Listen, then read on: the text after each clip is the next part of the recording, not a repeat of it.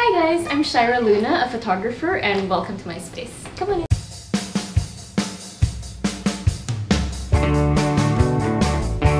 So we are now in our living space and as you're gonna see throughout the house, a lot of the things are thrifted or, or vintage. If you look around, everything is Nara. It's my favorite wood. So from the table to the dresser to the chairs, um, I really love um, repurposing things, such as this cabinet. We found it in a junk shop, like all rusty and everything, and then we painted it a nice yellow to give it that 70s vibe. This is a landing and I'm not sure what to call it but this is where I used to store all my clothes before we realized that I could make a closet which you will see later on but for now this is where I keep a lot of my records on the side and I also keep a lot of my books and old magazines so over here I have fashion magazines I have um, photography books, I have perfume books, um, I have lots of music related books and also older records down there. And um, of course my favorite, um, The Beatles um, wall. And um, yeah, that's pretty much it for this space.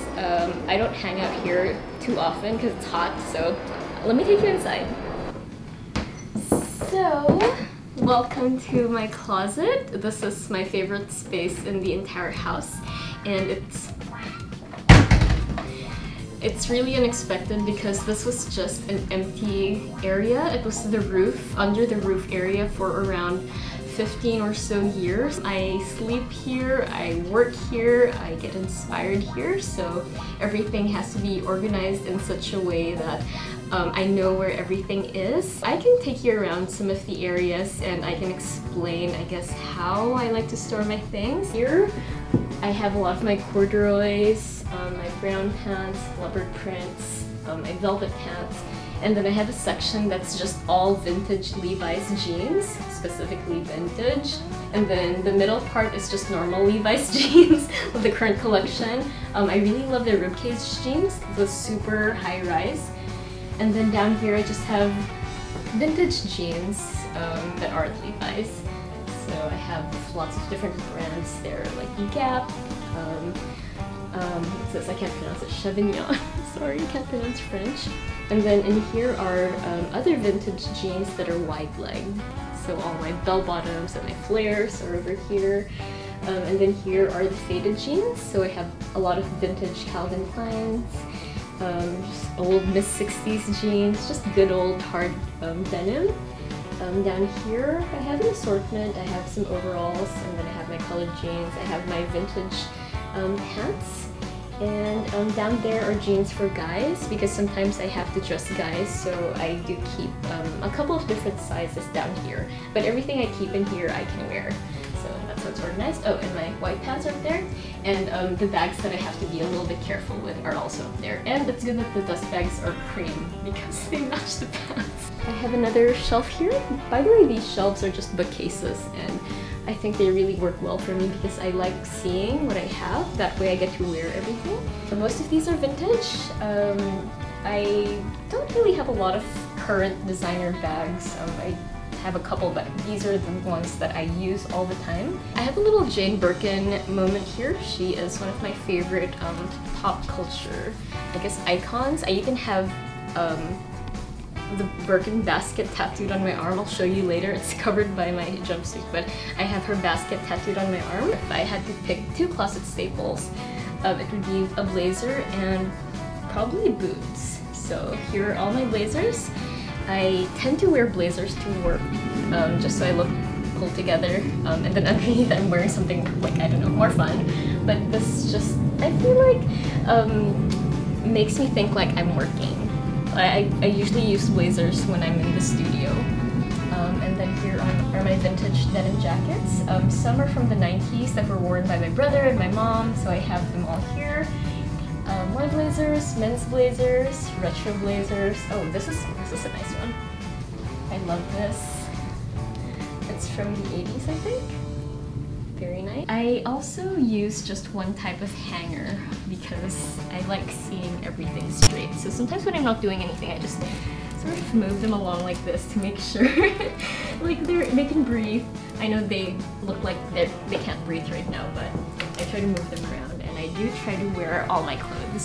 So that's why they're all out in the open. I'm picking out my outfit and since I'm having a hard time, maybe we can do a quick fire question first. do I have to answer that? Um, um, well, I guess digital because I feel like I need to take many pictures all the time and I want to see them as quickly as possible, so maybe digital. Unfair question though. Um, obviously.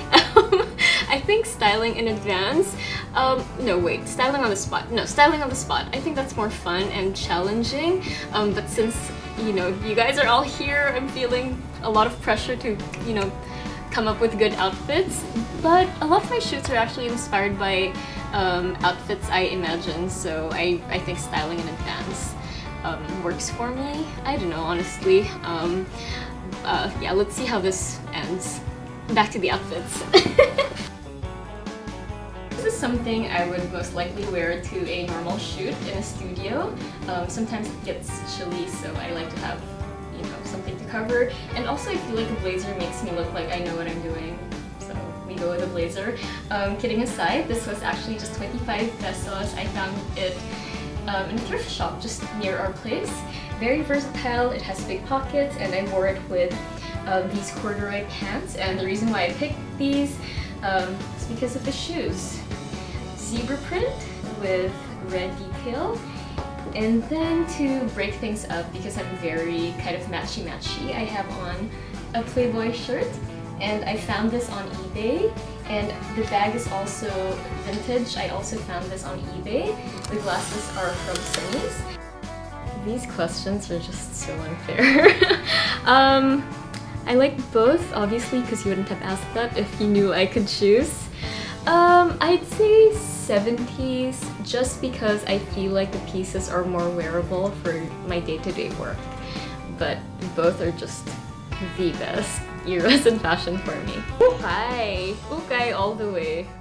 And then DIY your ukay.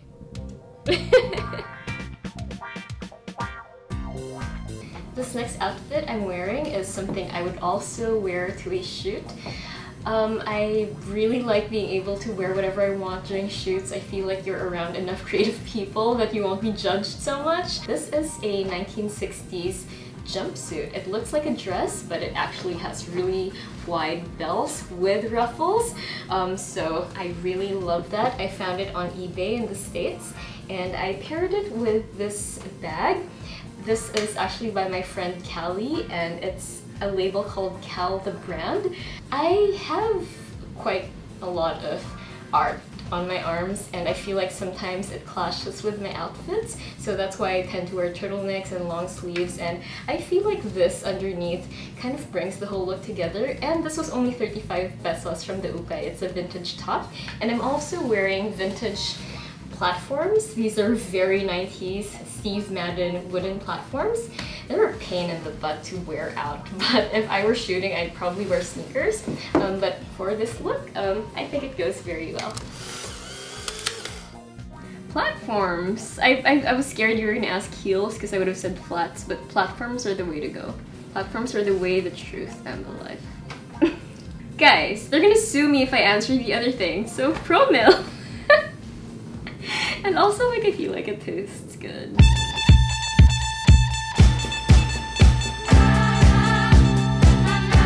This outfit makes me feel like I'm a kid in a coming of age movie in the seven, set in the 70s.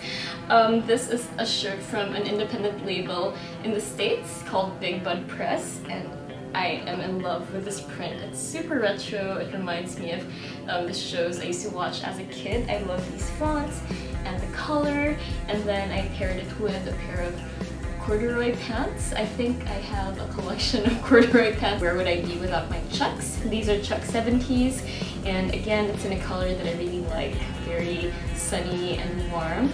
And then I'm one of those people who wears glasses without the lenses. so if you don't like those people, I'm sorry, but I really like how these look. I found them in Bangkal and then they were prescription glasses so I just took out the lens.